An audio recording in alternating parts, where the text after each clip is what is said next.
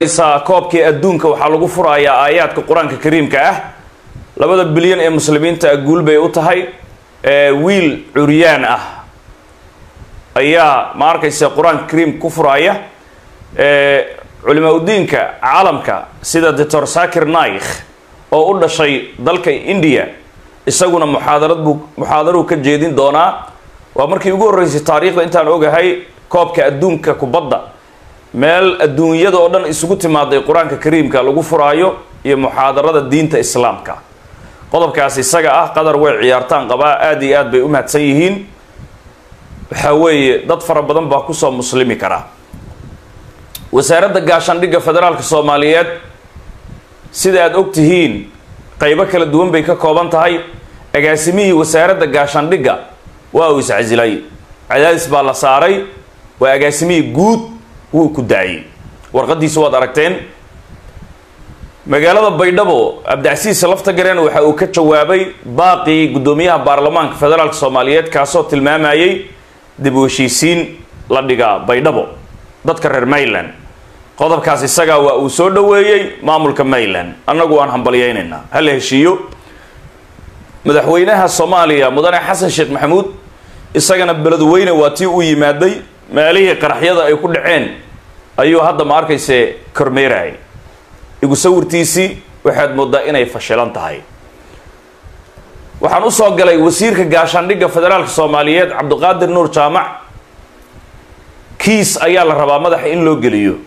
Kiiskaasna beryahan oo dhan waa laga shaqaynayay hadda laakiin waa uu soo karkarayaa xero nacnac qaraxii ka dhacay sida sirdoonka uu tilmaamayo waxaa geystay oo la geliyey wiil habar eji ah oo habar gidir oo cayr ah.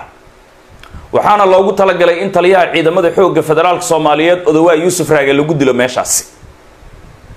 Odowaa markuu imaaday xeradaasi uu ka khudbadaynayay galabnimadiiba wuu gooyey taliyihii xerada haystay.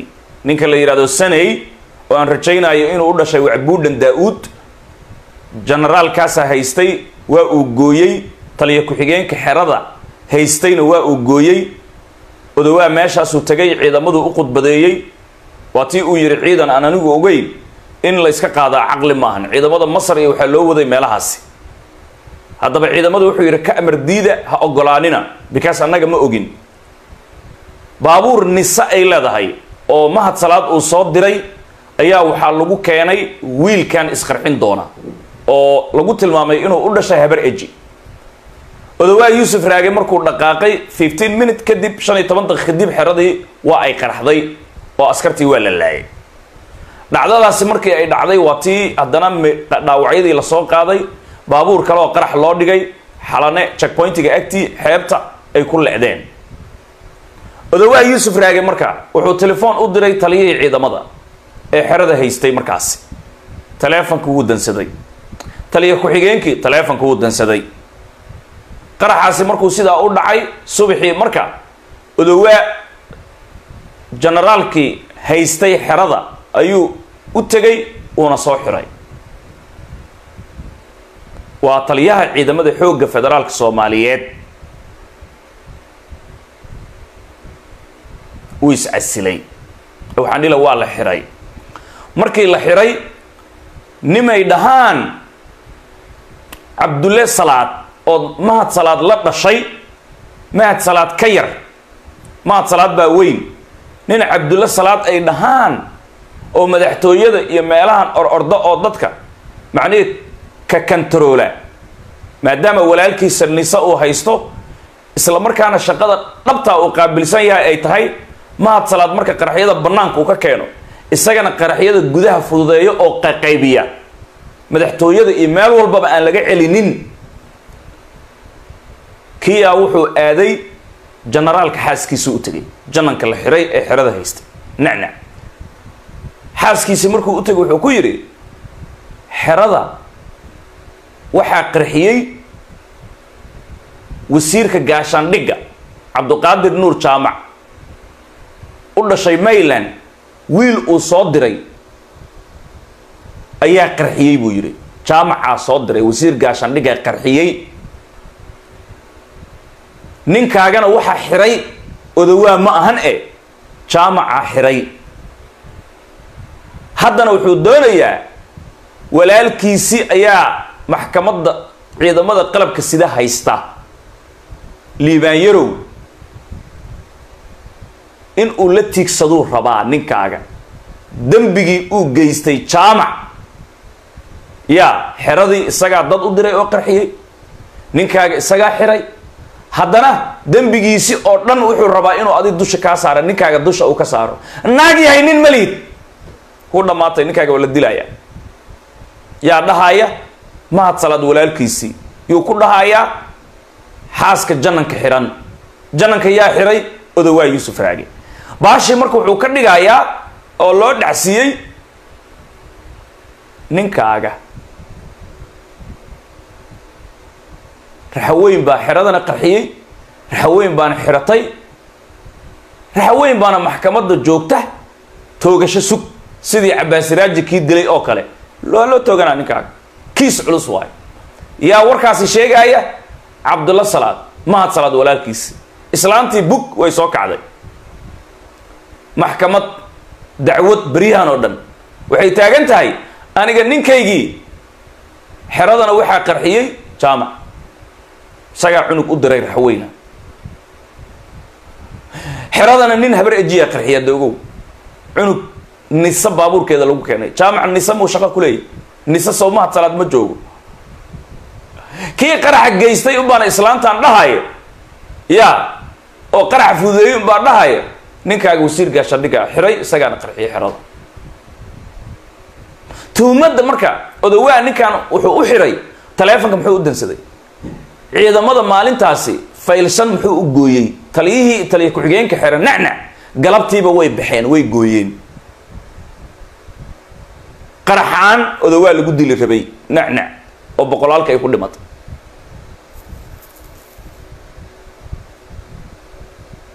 Haddana saasay tahay bahashii dhan kale in loo wareejiyaa la rabaa. Xasan sheekh maxamuud islaantiisii ayaa wasaaradda gaashaandhigga iyadana kombyutaro ka qaadatay iyo alaab watan jaamac madaxweynaha iyo isagu ay isku qabteen. Hay isu qoslaan hadda hadday doonaan laakiin dagaal xun baa ka dhexeeya. Marka cabdiqaadir nuur jaamac kiiskaasaa la rabaa hadda in lagu rogo oo dusha laga saaro halaambey lagu qaado. Intaasaan rabno inaan idiin sheegno laakiin hadda waad ogaateen dulmiga meeshuu ka socdo annagu sheegis baan leenahay arrintaasi saacadihii ugu dambeeyey xalay toole ilaa iyo shalay way karkaraysay meel xun bay maraysay. Sheekada waxaa la rabaa marka in loo rogo hawiye iyo raxweyn. Marka inahaasi ayaan sheegi lahayn. Muuqaalkan muuqaalka xiga ka hor dardaarankeena waxaa weeye saddex nin oo askarta federaalka soomaaliyeed xamar baa maanta lagu dilay iyaguna. Kow saddex askari oo federaalka soomaaliyeed muqdisho waa lagu dilay. Waxaa intaas sii dheer guddoomiyaha aqalka sare isagana maantay cabdi xaashi uu shir guddoomiyey golihiisi sheekadu waa hadha hadha saadaam maxamed nuur caliyow oo xildhibaan federaal ka tirsan ee mayland maxamed nuur caliyow wiilkii uu dhalay ee mayland caanka ah wiilkiisii isaguna waa u hadlay. Aadan madoobow xisaab qaldan baa soo dhex gashuu taagay. Balse haddaad aan dhegaysanno isaguna. Laakiin anigu gogasha magaalada baydhabo waan soo dhawaynayaa si kal iyo laab ah ayaan u soo dhawaynayaa ha la heshiiyo ceeb maahan. Bal aan dhegaysano saadaan. Dibashiisiina looma baahno. Dagaal khawaarija lagu jiraa. Dagaalka khawaarij dhinac ka raac. Haddaad wax tarayso oo wax goonayso mooragaaba iyo gariswiina meeshaa ka soo jeedo waay waxaa degan kursiga ku fadhiiso dadka matalaa degan qorigaaga qaado biyaha qaad baadka qaad dadkaas kaalmey walaalow baarlamaankan waa ku fashilantay. Baarlamaankan ma maamuli kartid. Ishaada ma fiicno. Waxay raxweynta ku mahmaadaa aroor biisheenow eritiisa tilmaam eh shaaadmadooba meel uma socotid baarlamaankan ha kala dhantaalin bismi illaahi raxmaan raxiim alxamdu lilaahi rabbi alcaalamiin wabihi nastaciinu calaa umuuri dunya waddiin amaa bacd shirkan jaraad waxaan u qabtay saa ula socotaan shalay waxaa saxaafadda shir jaraad u qabtay gudoomiyaha baarlamaanka soomaaliya aadan madoobe. Shirkaasuu kaga hadlayay inuu qorsheynayo ama uu rabo inuu dib heshiisin u qabto maamulka koonfur galbeed arrintaasaan rabaa inaan wax ka dhaho. Marka hore waxaan leeyahay shaacir madoobow dib u waxaa loo qabtaa qabaale isdagaalsan dad isdagaalsan sidaan ognahay koonfur galbeed maamulkeedii saddexda gobol bulshada ku dhisan bulshada degan ma jiro dad isdagaalsan dad maanta kaaga baahan inaad dib u heshiisiin u sugbisid meesha ma jiraan. Marka dib u waxaan u aragnaa ama waxaan u arkaa dib u siyaasadeed. Marka waxaan leeyahay waxaa ujeedadaada aada meesha ku qarinayso waxay tahay shaqadii aad dowladda ku idbatay shaqadii baarlamaanka lagu idmaday shaqadii guddoonka baarlamaanka ah haysee hagaacsanaan badan ka jirto. Marka sheekh madoobow shir dib u heshiisiin intaa iska dhaaftid baarlamaanka aada joogto ka shaqeey baarlamaanka hadaad ka shaqaysid sharciyada baarlamaanka yaalla baasgaray baarlamaanka maamulkiisii iyo adig inaad isdagaarsantihiin waan ognahay. Baarlamaanka maamulkiisi iska toosi shir dib u heshiisiin koonfur galbeed hadda uma baahna koonfur galbeed waxaa ka jiro siyaasiyiin oo kala aragti duwan. Siyaasaddan waa lagu kala aragti duwanaadaa maahane shacabka iyo bulshada koonfur galbeed degan qof isdagaalsan ama qof maanta qoryo isku haysto ama qof maanta la kala celinaya meesha ma jiraan. Waxaan kaloo halkan ka caddeynayaa siyaasiyiin baa kala aragti duwan. Maxaa lagu aragti duwan yahay? Koonfur galbeed sideedaba laba siyaasadaa ka jirto. Dooda siyaasiyiinta koonfur galbeed udhexeyso waa laba doodood dood waxay leedahay oo aniga aan dadka qabo aan ka mid ahay in la iswaafajiyo xilliga wakiilada koonfur galbeed waktigoodii iyo waktiga madaxtooyada in la iswaafajiyo oo meesha aan ka dhicin faraaq dastuuri ah ee hal mar doorashadooda ay noqoto. Iyo dad qaba oo siyaasiyiin naga aragti duwan oo weliba aan ku ixtiraamayo aragtiduwanaanshadooda iyagana waxay qabaan in doorashada waktiga hadda la qabto oo sidii ahaan jirtay halka sano hadda december aan ku jirno laba kun iyo labaatan labada in la qabto. Annagana dood kalean qabnaa oo waxaan leenahay dastuurkan waa ogol yahay baarlamaanka koonfur galbeedna way ansixiyeen in ay baarlamaanka iyo madaxtooyada koonfur galbeed ay isku dhacaan. Doodaasna waa dood lagu ka aragdubnaan karo. Dad siyaasiyiin ahna weligooda allahooda way kala aragdubnaan jireen. Siyaasaddan waa lagu kala aragdubnaadaa siyaasiyiin meel la fadhiisto oo waa la heshiisiina dib heshiisiina loo subinaa adduunka meel ka dhacdayna ma leh. Soomaalina kama dhicin. Siyaasiyiinta waa la kala aragdubnaanaa aragdubnaantas waa yar waa fidri waay hadhowna waa la isku raaca meel baa la isku raacaya waxaan kala rabaa inaan caddeeyo dalka maanta madaxweynaha dowladda federaalka soomaaliya ustaad doctor xasan sheekh maxamuud iyo ra'isul wasaaraha oo fulinta soomaaliya xukuumadda leh. Intaba waxay ku leeyihiin hal shaqo oo la wada yaqaano oo la wada ogyahay. Shaqadaas maxay tahay? Waa dubxoreen nimankan khawaarijda dalkan la haray in dalka laga sifeeyo. Marka sheeal madoobow haddaad rabtid operationkan khawaarijda dalka loogu xoreynaya inaad aad aawacdo ama aad fashiliso sida taariikhda lagugu yaqaanayba. Baarlamaankan kan ka horreeyey baarlamaankii aad ka tirsanayd baarlamaanka toddobaad iyo sideed midku hadda ma xasuustee waa ogeyd saa u kala dhantaashay baarlamaankan iyo hakala dhantaalin. Shaqada dowladda wasa hakala dhantaalin. Waad og tahay taariikhdaada wiliga allaha taariikhdaada fashil iyo khilaafka ku ahaa. Xataa waqtigii dowladaha ka horreeyey dowladan kumeergaarka wixii ka horreeyey dowladda kumeergaarka waa soo fashilisay baarlamaanka aad joogto waa ogahaye dowladdu wixii ka horreeyey xilligii oo hogaami kooxeedada ama xilligii oo nin walba deegaankiisa joogay maamulinaya adaa fashilisay halgankii aaraare ahaa ninkii fashiliyey adoo ahaa. Haddana waxaad u socotaa inaad fashilisid halgankan oo khawaarijta lagula jiro inaad fashilisa u socotaaye niyahow raallahaw niyahow allah ka cabso baarlamaankaaga ka shaqeey baarlamaankana dad ma haysid. Haddii dad la heshiisiinaya adaa la rabaa inaad nin kasta siyaasi ah oo koonfur galbeed ka tirsan inaad u tagto oo la heshiiso maxaa yeelay meedkii ugu dambeeyey kii hadal sii siday waaye. Adiga hadda markaan joognay baarlamaanka markii la soo dhisay anigii adiga laba qol iska soo horjeedaan tegnayn runjinaad waa la socotaa. Habeenkii doorashadii markay dhammaatay xildhibaanada doortay annaga dad tashtay xildhibaano digli mirifle ah iyo xildhibaano koonfur galbeed ah. Waxaan ahayn dad tashanayo meel fadhiyo go'aan qaadanayaan ahayn.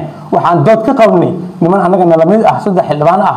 Xildhibaan isaaq al subag xildhibaan sareedo xildhibaan maxamed cali xasan ayaan dood ka qabnay oo shir oo raaca doorashada waafaqsaneen loo hakiyey. Ayaan dood ka qabnay. Adiga habeenkii naga soo dhulmatay. Aniga adiga laba qol iska horjoodaa degnin subax marka waagi beri waa dhulmato habeenkii naga soo dhalmatay waa lug waaye. Xamaraa imaatay.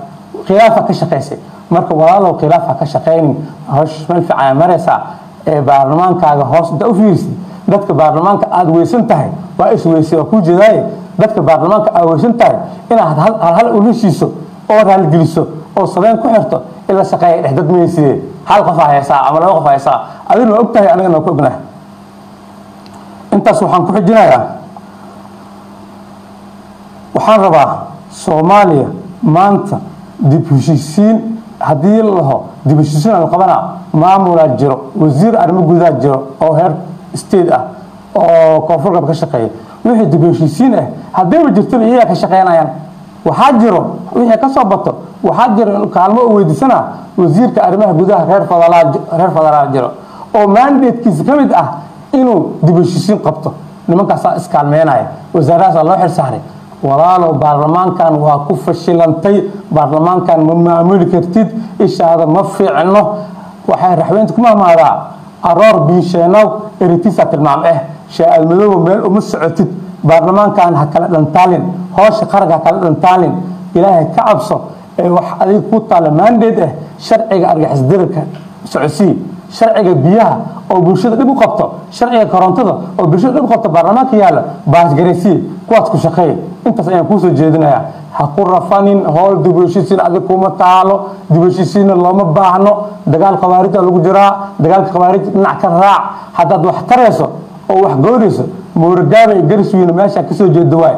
Waxaa degan kursiga ku fadhiiso dadka matalaa degan qorigaaga qaado biyaha qaad baadka qaad dadkaas kaalmey howshaas hadda socotee howshaas garab u sii.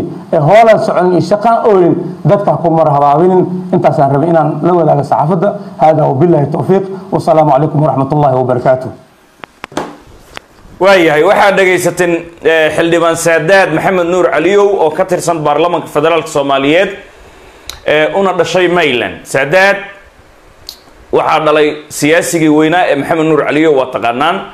Wuxuu leeyahay annagu dib u heshiisiin waa qabnaa dib u heshiisiin kale uma baahnin. Marka kolley aniga shaksiyadayda laakiin dib u heshiisiinta in gogasha baydhabo la dhigo aad baan u soo dhawaynayaa. Ka warbaahin ahaan s m c na in baydhabo gogasha laysugu tago. Nin walba wax tabanaya gogashaasi guddoomiyaha baarlamanka uu ku dhawaaqay soo dhawaynaynaa madaxweynaha lafta gareenna wuu ogolaaday. Maantay warqaduu soo saaray. Muuqaalkan muuqaalka xiga ka hor firdowsa